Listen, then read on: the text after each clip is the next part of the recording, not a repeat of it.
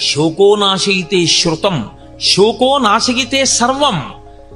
ఇంకా ధైర్యం కోల్పోయిన వాడికి పెద్దలు చెప్పిన మాటలు గుర్తురాని వాడికి కార్యాన్ని నిర్వహించలేని వాడికి వాడు పొందగలిగిందే ఉంటుంది. వాడు ఏమీ పొందలేడు. కాబట్టి వాడు సమస్తమును కోల్పోతాడు. నిప్పు తీసుకొచ్చి నేను జేబులో వేసుకున్నాను అనుకోండి. అయ్యో వాళ్ళు ఎవ్వరూ నిప్పట్టుకోలేదు పాపం ఈయన ఒక్కడే జేబులో వేసుకున్నాడు అని జేబులో వేసుకోలేదు నన్ను. వీడొక్కడే జేబులో వేసుకుని గౌరవించాడని నన్ను గౌరవించి ఊరుకుని మిమ్మల్ని కాలుస్తుందా? జేబులో వేసుకుని నన్ను కాలుస్తుందా? నన్ను కాలుస్తుంది. అలా శోకము ఎవరి ఎందు ఉత్పన్నమైందో వాళ్ళనే పాడు చేసేస్తుంది శత్రువై.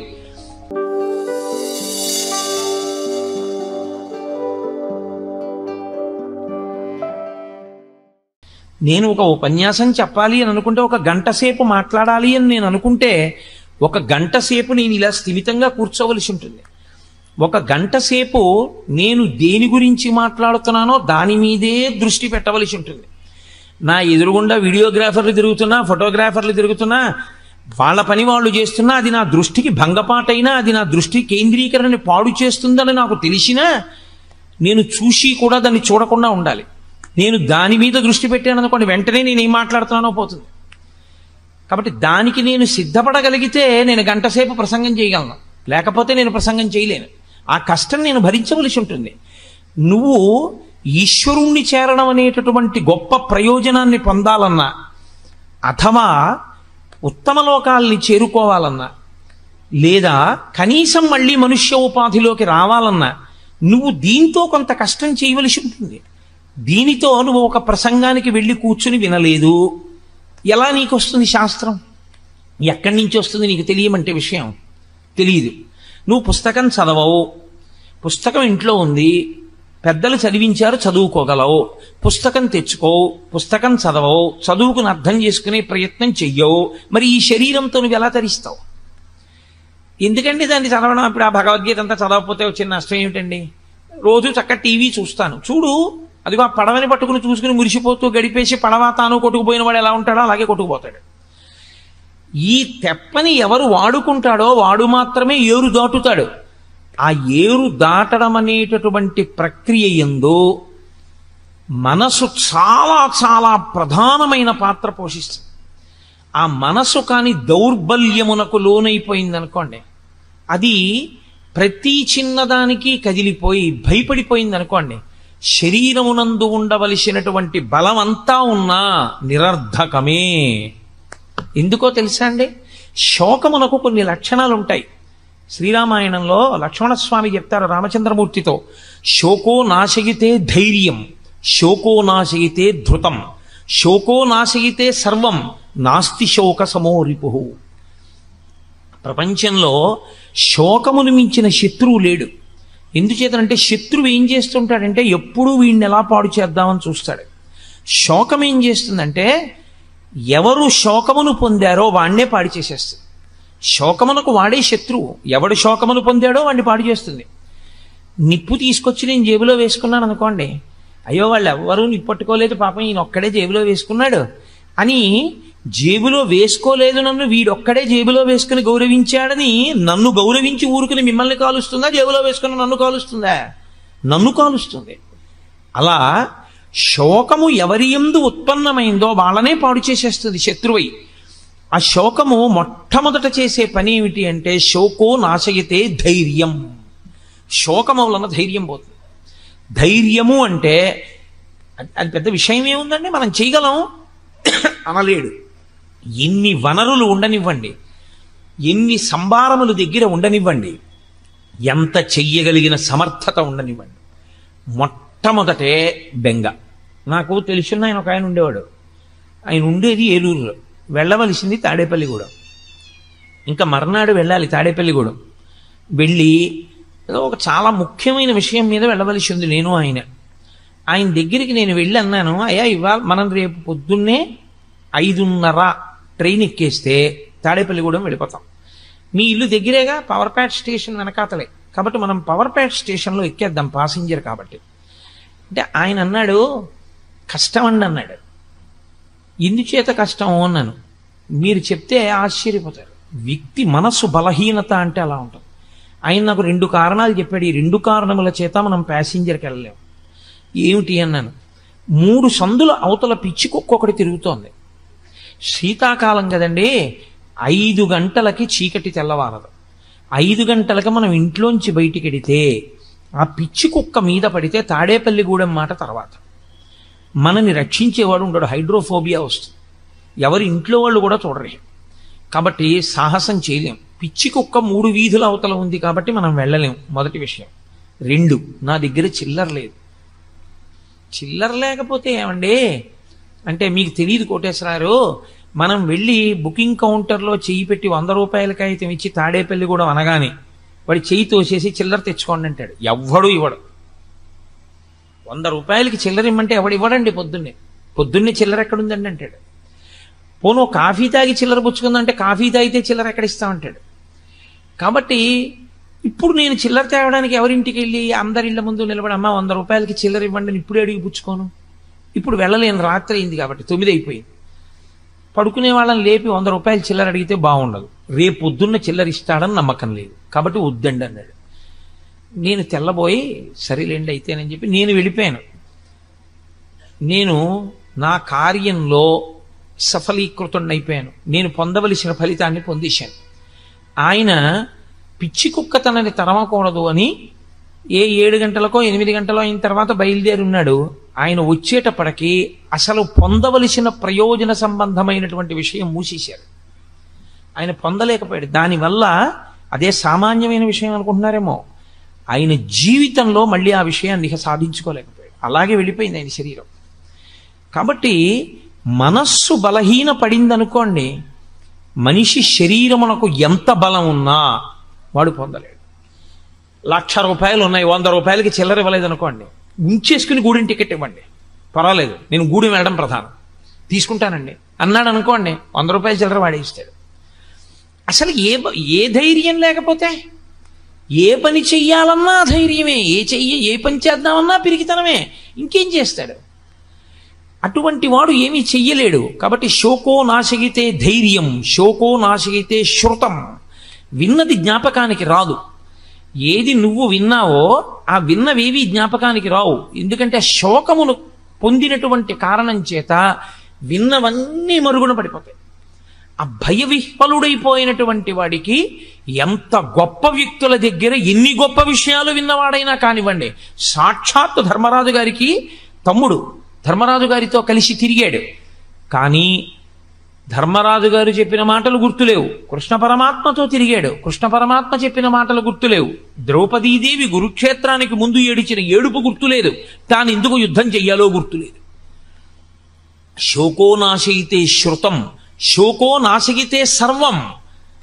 ఇంకా ధైర్యం కోల్పోయిన వాడికి పెద్దలు చెప్పిన మాటలు గుర్తురాని వాడికి కార్యాన్ని నిర్వహించలేని వాడికి వాడు పొందగలిగిందే ఉంటుంది. వాడు ఏమీ పొందలేడు. కాబట్టి వాడు సమస్తమును కోల్పోతాడు. కాబట్టి శోకో నాశగితే సర్వం నాస్తి శోక సమోరిపు లోకంలో శోకముతో సమానమైనటువంటి శత్రువు లేడు. ఉత్సాహముతో సమానమైన మిత్రుడు లేడు. లోకంలో అందరికన్నా గొప్ప మిత్రుడు ఎవరో తెలుసా అండి? ఉత్సాహమే. ఉత్సాహో బలవాన్నార్యా నాస్తుత్యాహత్పరం బలం. సోత్సాహస్యాస్తి లోకేస్మిన్ నకించితపి దుర్లభం. అసలు ఉత్సాహం ఉన్నవాడికి దుర్లభం అన్న మాట లేదు. ఆ ఉత్సాహం ఉండి మనం ఎందుకు చెయ్యలేము? మనం చెయ్యగలం అనుకున్నాడు అనుకోండి. వాడు సాధించగలడు. వాడు ఆ ప్రయత్నం మీద పూనికతో నిలబడగలడు. అసలు ఆ ఉత్సాహమే లేనివాడు ఎన్ని సంభారములు ఉన్నా ఎన్ని వనరులు ఉన్నా వాడు చెయ్యగలిగినటువంటి విషయం ఉండదు. కాబట్టి అది క్షుద్రం హృదయ దౌర్బల్యం. సిగ్గుగా లేదు నీకు ఈ మాట అనడానికి? కూలబడిపోతావా? సిగ్గు లేకుండా. గాంధీవాన్ని విడిచిపెట్టావా? ఒళ్ళంతా చెమటలు పట్టాయా? భీరువు అయిపోయావా? భయపడిపోయానని చెప్తున్నావా? యుద్ధం చెయ్యనంటున్నావా? నీకు అసహ్యం పుట్టట్లా నీ మాటల మీద నీకు? కాబట్టి క్షుద్రం హృదయ దౌర్బల్యం త్యక్యోత్తిష్ట విడిచిపెట్టావు. విడిచిపెట్టవు చిత్రం ఏమిటో తెలుసా అండి? ఎవరు ఆ దౌర్బల్యాన్ని పొందారో వాడు విడిచిపెట్టాలి తప్ప పక్కవాడు విడిచిపెట్టు విడిచిపెట్టు విడిచిపెట్టు విడిచిపెట్టని ఎన్ని మాటలు చెవిలో చెప్పినా వాడు విడిచిపెట్టనంతసేపు వాడి ధైర్యం మళ్ళీ వాడికి రాదు. ఇప్పుడు అర్జునుడికి మళ్ళీ ధైర్యం కలగడం అన్నది ఎక్కడుందంటే ఆ మోహం పోవాలి. ఆ మోహం పోయి మళ్ళీ తాను ఏది స్మృతిని పొందాలో అది స్మృతిలోకి వస్తే తన కర్తవ్యం ఏదో తనకి గుర్తొస్తే తన ధర్మం ఏదో తనకి జ్ఞాపకానికి వస్తే తాను చెయ్యవలసిన పని చెయ్యడానికి తాను ఉద్యుక్తుడైతే తాను చేసేయగలడంతే. కాబట్టి నువ్వు ఉత్తర క్షణం ఆ క్షుద్రమైనటువంటి హృదయ దౌర్బల్యాన్ని విడిచిపెట్టేసేయి. విడిచిపెట్టేసి ఉత్తిష్ట లే. లేచి అర్జున ప్రారంభి ప్రారంభించే యుద్ధాన్ని. ఉత్తిష్ట అన్న మాటకు అర్థం ఇక్కడ కేవలం శరీరంతో లేవడం కాదు. ఉత్తిష్ట అన్న మాటకు అర్థం పూర్వం ఎలా నిలబడ్డావో అలా నిలబడు. ఈ యుద్ధానికి వచ్చే ముందు ఎంత సంతోషంగా వచ్చావో ఇన్నాళ్ళకి నా పగ తీరుతోంది. ఇన్నాళ్ళకి దుష్టబుద్ధి కలిగినటువంటి కౌరవుల్ని మట్టు పెడుతున్నాను. నా కర్తవ్యం నేను నిర్వహిస్తున్నాను. క్షత్రియుడనై పుట్టినందుకు దుష్టుల్ని సంహరించి ధర్మాన్ని నిలబెడుతున్నాను.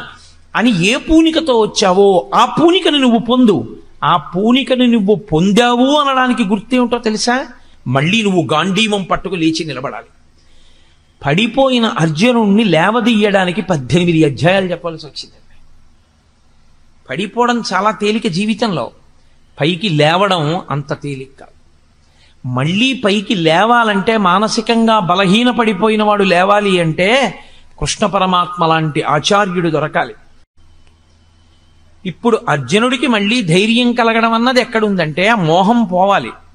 ఆ మోహం పోయి మళ్ళీ తాను ఏది స్మృతిని పొందాలో అది స్మృతిలోకి వస్తే తన కర్తవ్యం ఏదో తనకి గుర్తొస్తే తన ధర్మం ఏదో తనకి జ్ఞాపకానికి వస్తే తాను చెయ్యవలసిన పని చెయ్యడానికి తాను ఉద్యుక్తుడైతే తాను చేసేయగలడంతే. కాబట్టి నువ్వు ఉత్తర క్షణం ఆ క్షుద్రమైనటువంటి హృదయ దౌర్బల్యాన్ని విడిచిపెట్టేసేయి. విడిచిపెట్టేసి ఉత్తిష్ట లే లేచి అర్జున ప్రారంభి ప్రారంభించే యుద్ధాన్ని. ఉత్తిష్ట అన్న మాటకు అర్థం ఇక్కడ కేవలం శరీరంతో లేవడం కాదు. ఉత్తిష్ట అన్న మాటకు అర్థం పూర్వం ఎలా నిలబడ్డావో అలా నిలబడు. ఈ యుద్ధానికి వచ్చే ముందు ఎంత సంతోషంగా వచ్చావో ఇన్నాళ్ళకి నా పగ తీరుతోంది. ఇన్నాళ్ళకి దుష్టబుద్ధి కలిగినటువంటి కౌరవుల్ని మట్టు పెడుతున్నాను. నా కర్తవ్యం నేను నిర్వహిస్తున్నాను. క్షత్రియుడనై పుట్టినందుకు దుష్టుల్ని సంహరించి ధర్మాన్ని నిలబెడుతున్నాను. అని ఏ పూనికతో వచ్చావో ఆ పూనికను నువ్వు పొందు. ఆ పూనికను నువ్వు పొందావు అనడానికి గుర్తేమిటో తెలుసా? మళ్ళీ నువ్వు గాంధీవం పట్టుకు లేచి నిలబడాలి. పడిపోయిన అర్జునుణ్ణి లేవదీయడానికి పద్దెనిమిది అధ్యాయాలు చెప్పాల్సి వచ్చింది.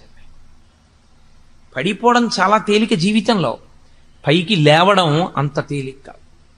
మళ్ళీ పైకి లేవాలంటే మానసికంగా బలహీన పడిపోయిన వాడు లేవాలి అంటే కృష్ణ పరమాత్మ లాంటి ఆచార్యుడు దొరకాలి. మళ్ళీ అంతటి సద్బోధ దొరకాలి. తన ధర్మం తనకి తెలియాలి. తెలిసి లేచి నిలబడి మళ్ళీ గాంధీవాన్ని పట్టుకోవాలి. అందుకే మనందరం కూడా ఆ ధర్మక్షేత్రంలో ఉన్న వాళ్ళమే. అర్జునుడు మిష అంతే. మనందరం కూడా ధర్మక్షేత్రంలో ఇలాగే దిక్కు తెలియక పడిపోయి ఉన్నాం. మనం ఏం చెయ్యాలో మనకి తెలియదు. మన ధర్మం ఏమిటో మనకి తెలియదు. మనం ఎలా ప్రవర్తించాలో మనకి తెలియదు. మనం ఈశ్వరుణ్ణి ఎలా ఆరాధించాలో మనకి తెలియదు. సభలోకి వస్తే ఎలా కూర్చోవాలో మనకి తెలియదు. ఎదురు కుర్చీ మీద కాళ్ళు పెట్టి పెద్దల ముందు కూర్చోవచ్చో కూర్చోకూడదో కూడా మనకి తెలియదు. తెలియని స్థితిలో సభలో పడిపోయి ఉన్నటువంటి వాళ్ళని ఉద్ధరించడానికి భగవద్గీత వస్తుంది. కాబట్టి ప్రతి చిన్న విషయాన్ని స్పృశించడానికే భగవద్గీత. నీ ధర్మాన్ని నువ్వు తెలుసుకోగలిగితే నీ ధర్మమునందు నువ్వు నిలబడగలిగితే అదే నీ కర్తవ్యం. నేను ఈ సభకు వచ్చినప్పుడు మా ఆఫీస్ నుంచి వచ్చినట్లు ప్యాంటు చొక్కాతో రావచ్చు. ప్యాంటు చొక్కాతో వచ్చి కూర్చున్నా నేను భగవద్గీత చెప్పగలను. కానీ నేను ఎందుకు రాలేదు? నాకో ధర్మం ఉంది నాకో కర్తవ్యం ఉంది. నేను ఇక్కడ భగవద్గీత మాట్లాడేటప్పుడు నేను ఒక వైదికమైన దుస్తులతో రావాలి. ఒక గోరు చుట్టు కోసే డాక్టరు ప్యాంటు చొక్కా వేసుకుని బూట్లు వేసుకుని ఉన్న గోరు చుట్టు కొయ్యగలడు. కానీ ఆకుపచ్చటి సూటు వేసుకుని వేసుకొచ్చిన ప్యాంటు చొక్కా బయట వదిలేసి పర్సు సెల్ ఫోను వాచి ఉంగరాలు కూడా తీసేసి కాంపౌండర్కి ఇచ్చేసి ఆపరేషన్ థియేటర్లోకి ఎందుకు వెళ్తున్నాడు? కర్తవ్యతా నిష్ఠ ఒక మర్యాద. సన్యసించిన వ్యక్తి నేను సర్వసంగ పరిత్యాగిని అని కాషాయం ఎందుకు కట్టుకుంటున్నాడు? ఇంకా తాను పట్టుకోవలసింది ఏమీ లేదు అని గుర్తు. నేను అన్నీ విడిచిపెట్టేశానని గుర్తు ఏమిటంటే ఆయన పట్టుకున్న కాషాయం. ఒక్కొక్కటి ఒక్కొక్క దాన్ని సంకేతిస్తుంది. నువ్వు దేని కొరకు వచ్చావో దాని కొరకు నీ కర్తవ్యాన్ని నిర్వహించడానికి కావలసిన ధర్మాన్ని నువ్వు పట్టుకోవాలి. అలా నువ్వు నిలబడగలగాలి. అలా నువ్వు కూర్చోగలగాలి. అలా నువ్వు ఎలా ప్రవర్తించాలో అలా ప్రవర్తించగలగాలి. యుద్ధభూమికి వచ్చినటువంటి వాడు భూతదయ గురించి మాట్లాడడానికి ఇన్ని తపస్సులు చేసి అస్త్రాల్ని పొందింది. ఇన్ని అస్త్రాలు పొందినవాడు ధర్మాన్ని నిలబెట్టవలసిన వాడా క్షత్రియుడు సన్యాస ధర్మాన్ని బ్రాహ్మణ ధర్మాన్ని స్వీకరించి భూతదయ అంటూ ఉపన్యాసాలు చెప్పి ఇంటికి వెళ్ళిపోవడానికే? అదా క్షత్రియుడు చేయవలసిన పని? ఎంత మోహానికి లోనైపోయావు? క్షుద్రం హృదయ దౌర్బల్యం. నీకు అక్కర్లేని ధర్మాన్ని నువ్వు పట్టుకున్నావు. దానివల్ల వచ్చింది నీకు ఈ దౌర్భాగ్యం అంతా. దానివల్ల వచ్చింది ఈ దౌర్బల్యం అంతా. నీ ధర్మాన్ని నువ్వు పట్టుకో. ఈ భూతదయ గురించి మాట్లాడవలసిన వాడు బ్రాహ్మణుడు. ఈ భూతదయ గురించి ఉపన్యాసాలు చెప్పవలసిన వాడు బ్రాహ్మణుడు. ఈ భూతదయని పాటించవలసిన వాడు బ్రాహ్మణుడు. లోకంలో ధర్మం నిలబడడానికి అధర్మాన్ని పట్టుకున్న వాణ్ణి సంహరించి ధర్మాన్ని నిలబెట్టవలసిన వాడు క్షత్రియుడు. నీ ధర్మం నీ కర్తవ్యం అది. ఒక ధర్మాన్ని విడిచిపెట్టి ఇంకో ధర్మాన్ని పట్టుకోవడం వల్ల వచ్చినటువంటి మోహబుద్ధి చేత కింద పడిపోయావు. ఇప్పుడు నువ్వు పురుషుడవై ఇంత గొప్పవాడవై నపుంసకుడవయ్యావు. నువ్వు స్త్రీవా పురుషుడివా? సమాజంలో ఎక్కడ ఉన్నా నువ్వు ప్రశ్నే. స్త్రీ సభలోకి వచ్చిందనుకోండి ఇబ్బంది లేదు. పురుషుడు సభలోకి వచ్చాడు అనుకోండి ఇబ్బంది లేదు. స్త్రీ ఇంట్లో ఉందనుకోండి ఇబ్బంది లేదు. పురుషుడు ఇంట్లో ఉన్నాడు అనుకోండి ఇబ్బంది లేదు. స్త్రీ రిజర్వేషన్ ఫామ్ పట్టుకుని రైల్వే కౌంటర్కి వెళ్ళింది అనుకోండి ఇబ్బంది లేదు. పురుషుడు రైల్వే రిజర్వేషన్ ఫామ్ పట్టుకుని రిజర్వేషన్ కౌంటర్కి వెళ్ళాడు అనుకోండి ఇబ్బంది లేదు. నపుంసకుడు రిజర్వేషన్ కౌంటర్ దగ్గర నుంచి ఎక్కడికి వెళ్ళినా ఇబ్బంది. ఎక్కడికి వెళ్ళినా ప్రశ్న ఎక్కడికి వెళ్ళినా ఇబ్బంది నపుంసకుడు. నువ్వు క్లీబహ అన్నాడు. నువ్వు క్లైబ్యం నువ్వు నపుంసకుడు అయ్యావు ఇవాళ. నువ్వు మగవాడివి పురుషుడివి క్షత్రియుడివి సిగ్గులేది ఇలా మాట్లాడడానికి? ఒక ఆచార్యుడు ఒక గురువు ధర్మమునందు మళ్ళీ శిష్యుణ్ణి నిలబెట్టడానికి మళ్ళీ పూనిక కల్పించడానికి గురువు మాట్లాడడం అంటే అలాగే ఉంటుంది. దాని అస్తమానం గడ్డం పట్టుకుపతి మాలరు గురువు గురువుగారు గురువు గారు మాట్లాడవలసి వస్తే అజ్ఞానంలోంచి పైకెత్తవలసి వస్తే మూఠా జహీహి ధనాగమ తృష్ణ కురు సద్బుద్ధిం మనసి వితృష్ణ. ఎల్లభసే నిజ కర్మోపాత్తం విత్తంతేన వినోదయ చిత్తం అన్నారు. జగద్గురు శంకర భగవత్పాదులు కాబట్టి జగద్గురువైనటువంటి కృష్ణ పరమాత్మ మాట్లాడుతున్నారు కురుక్షేత్రంలో. అర్జునుడి కొరకు కాదు. తర్వాతి కాలంలో తర్వాతి యుగాలలో తర్వాత దేశకాలముల ఎందు వచ్చేటటువంటి సమస్త మనుష్య జాతి ధర్మమునందు వైక్లభ్యమును పొందితే భగవద్గీతయే శరణ్యం. మళ్ళీ ధర్మమును ఊంచుకోవడానికి ఏ ఆశ్రమంలో ఉన్న వాళ్ళ ధర్మమైనా సరే వాళ్ళు పట్టుకోవాలి అంటే ఒక్కొక్క ఆశ్రమానికి ఒక్కొక్క ధర్మం ఉంటుంది. బ్రహ్మచారి ధర్మం బ్రహ్మచారిది. గృహస్థు ధర్మం గృహస్థుది. వానప్రస్థు ధర్మం వానప్రస్థుది. సన్యాసి ధర్మం సన్యాసి. తప్ప సన్యాసి ధర్మాన్ని గృహస్థు పట్టుకోకూడదు. వానప్రస్థు ధర్మాన్ని బ్రహ్మచారి పట్టుకోకూడదు. బ్రహ్మచారి ధర్మాన్ని గృహస్థు పట్టుకోకూడదు. ఎవడి ధర్మాన్ని వాడు పట్టుకోవాలి? ఒకటి ధర్మాన్ని ఒకడు పట్టుకుంటే పాడైపోతాడు. బ్రహ్మచారి తలకాయ దూకోకూడదు. గృహస్థు తలకాయ దూకోవాలి. బ్రహ్మచారి తాంబూలం వేసుకోకూడదు. గృహస్థు తాంబూలం వేసుకోవచ్చు. గృహస్థు రేపటి కొరకు దాచుకోవచ్చు. సన్యాసికి ఈ పూట అన్నం దొరికితే మళ్ళీ సాయంకాలం అన్నం కోసం గృహ దాచుకోవడానికి వీల్లేదు సన్యాసి. గృహస్థు బయట వర్షం పడుతుంటే ఇంట్లో పొయ్యి మీద అన్నం వండుకోవచ్చు. సన్యాసి ఎట్టి పరిస్థితుల్లో అగ్నిహోత్రం మీద ఏది వండుకు తినకూడదు. అగ్నిని ముట్టుకోడు కాబట్టే చివరి శరీరాన్ని కూడా అగ్నిలో వ్రేల్చరు. భూమిలో పాతి పెట్టేస్తారు. ఎవరి ధర్మం వారిది? బట్ట మార్చుకున్నది ధర్మం కాదు. లోపల మనసు మార్చుకుని పట్టుకున్నది ధర్మం. లోపలి మార్పు రాకుండా పైకి తెచ్చుకున్నటువంటి మార్పులు డాంబికాలు ఆడంబరాలు. ఇది తెగేసి చెప్పేస్తున్నాడు కృష్ణ పరమాత్మ. ఎవరు ఏది పట్టుకోవాలో అదే పట్టుకోవాలి. గృహస్థాశ్రమంలో ఉన్నవాడు కాషాయం కట్టుకోకూడదు. కాషాయం కట్టుకున్నా కాషాయం వేసుకున్నవాడు సర్వాన్ని పరిత్యజించేశాడని గుర్తు. అన్నీ విడిచిపెట్టేస్తే కాషాయం వేసుకోవాలి. విడిచిపెట్టకుండా కాషాయం వేసుకుని తిరగకూడదు. తెల్లటి బట్ట మాత్రమే కట్టుకోమని వేదంలో పటలపన్నం చెప్తోంది. గృహస్థుకి తెల్లటి వస్త్రం వినా కాషాయాన్ని ఇంట్లో తెచ్చిపెట్టుకునే అధికారం కూడా లేదు. ఒక్క సన్యాసికి మాత్రమే నిర్దేశింపబడిన రంగు కాషాయం. ధర్మం ధర్మమే. నేను చెప్తే ధర్మం కాదు. వేదం చెప్తే ధర్మం. వేదం ఏం చెప్పిందో అది ధర్మం. అది కాదని మీరు ప్రవర్తిస్తే మీరు వేదాన్ని తిరస్కరించిన వారు అవుతారు ధర్మమునందు మీరు వైక్లభ్యమును పొందిన వారు అవుతారు తప్పించి నాకు ఇది బాగుందండి నువ్వు చేయడానికి వీల్లేదు. నీకు ఏది వేదం చెప్పిందో అది మాత్రమే నువ్వు చేయవలసి ఉంటుంది. ఆ వేదం చెప్పిన దాన్ని ధైర్యంగా చెప్పిన వాడెవడో వాడే గురువు. గురువుకున్న ఒకే ఒక ఆస్తి ధైర్యం. తప్ప తానే భయపడిపోయిన వాడు ధర్మాన్ని చెప్పడానికి ఏం పనికొస్తాడు కాబట్టి నిర్భయంగా చెప్పగలిగిన వాడే గురువు. కాబట్టి జగద్గురువు అయినటువంటి కృష్ణ పరమాత్మకు భయం ఎక్కడ ఉంటుంది ఆయన నిర్భయస్తుడు కాబట్టే మహానుభావుడై నువ్వు అటువంటి నపుంసకత్వాన్ని పొందకు. పురుషుడివి పురుషుడిగా నిలబడు. ఏ పని చెయ్యాలో ఆ పని చేయడానికి సిద్ధపడు. యుద్ధాన్ని చేయవయా? ఏమిటిది? చంపేస్తాను చంపేస్తానంటున్నావే? నేను చంపేస్తాను నేను చంపేస్తే వాళ్ళందరూ చచ్చిపోతున్నారంటున్నావు కదా నేను నీకు ఒక్క మాట చెప్పేస్తాను. బాగా జ్ఞాపకం పెట్టుకో. అప్పుడు కాదండి అప్పటి నుంచి ఎప్పటికీ ఇది చెప్పినంత మాత్రాన నాకు మొహం పోయింది అనుకుంటున్నారా నాకు బాగా పట్టుకుని ఉన్నదే మొహం. అది పోవడానికే నేను చేసుకునే ప్రయత్నం. దేహినోస్మిన్ యథా దేహే కౌమారం యవ్వనం జరా తథా దేహాంతర ప్రాప్తి దేహిస్తత్యనుముచ్యతే ధీరస్తత్రనుముచ్యతే. నాయన బాగా విను అర్జున లోకంలో దేహినోస్మిన్ యథా దేహే.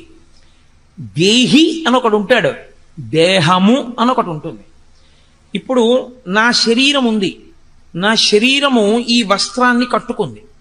ఈ వస్త్రము నేను కాదు అజ్ఞానము చేత నేనేమంటూ ఉంటానంటే ఇది చూపించి ఇది నేనంటూ ఉంటాను. కానీ యథార్థమునకు ఇది కూడా నేను కాదు. దీని లోపల ఉన్నాను నేను. అసలు నేను లోపల ఉన్నాను. ఆ నేను నేనన్నది ఏదుందో అదే అందరూ ఇలా చూపించినప్పుడు అంటారు. ఇలా చూపించినప్పుడు అందరూ చెయ్యిటి తిరిగితే అనేది నేను. నేను ఇక్కడ కూర్చుని నేను అన్నప్పుడు ఇలా చూపిస్తాను.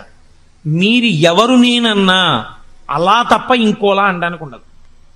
అందరూ ఏమంటారంటే నేనన్నప్పుడు ఇలాగే చూపించుకుంటారు. నువ్వన్నప్పుడు నీకు నేను ఇలా అన్నారు.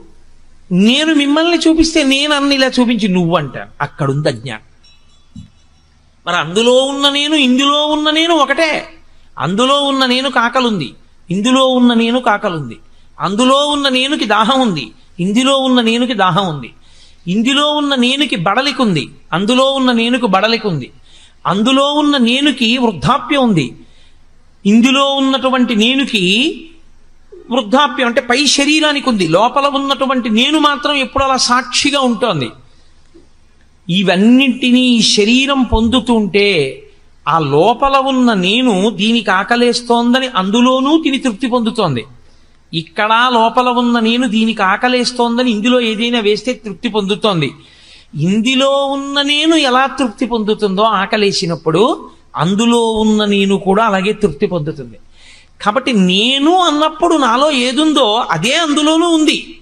తప్ప ఇంకోటి లేదు. ఉన్నది ఆ పదార్థమే. ఆ పదార్థమే నేనన్నప్పుడు ఉంది. ఆ పదార్థమే నువ్వు అన్నప్పుడు ఉంది. కానీ అజ్ఞానం అంతా ఎక్కడొచ్చేస్తోందంటే మధ్యలోకి నువ్వు అన్నప్పుడు వేరైపోతావు. వాడు ఏమైపోయినా పర్వాలేదు నేను బాగుంటే బాగుంటున్నాడు కాదు ఇందులో ఉన్నవాడికి దీనిలో ఆకలేసినప్పుడు దీంట్లో పదార్థం పడేసినప్పుడు ఇది ఎలా తృప్తి పొందుతుందో నాలో నేను అనబడేటటువంటిది ఎలా సంతోషిస్తుందో ఆ నేనే అందులో కూడా ఉంది. ఆ నేను కూడా అలాగే సంతోషిస్తుంది. అందులో ఆకలి వేసినప్పుడు పడేస్తే పాపం అది కూడా ఖాళీగా ఉంది. అది కూడా అన్నం లేక ఏడుస్తోంది. అందులో కూడా ఇంత పడేస్తే అందులో నేను సంతోషిస్తుంది ఇందులో నేను సంతోషిస్తుంది. ఆ నేనుకి ఈ నేనుకి తేడా లేదుగా ఒకటే నేను. కాబట్టి ఉన్నది ఆ నేనే సమస్తమంతా ఆ నేనే ఉన్నాను. బట్టలు మారే అంతే. బట్టలు ఏవి కట్టుకుంటే ఏమిటండి? లోపల నేను ఒక్కటే ఉన్నది. కాబట్టి దేహినోస్మిన్ యథా దేహే దేహి లోపల ఉన్నవాడు ఈ దేహమును తొడుక్కుంటున్నాడు. తొడుక్కున్నది దేహమైంది ఎందుకని? ఇది ఉండేది కాదు. దాని పేరే దేహము. దేహము అంటే కాలిపోతుంది. దహింపబడేదేదో దానికి దేహమని పేరు. ఏ దేహమైనా కానివ్వండి నేను తొడుక్కున్న ప్రతి దేహము కాలిపోవలసిందే. ఎన్ని దేహములను మీరు లోకంలో చూస్తున్నారో అన్ని దేహములు చిట్ట చివరికి కాల్చబడతాయి. నేను తొడుక్కున్న ఈ దేహమైనా మీ అందరూ తొడుక్కున్న దేహములైనా కొంతమంది ముందు కొంతమంది వెనక అంతే తేడా. తప్ప అన్ని శరీరములు అన్ని దేహములు కాలిపోవలసిందే.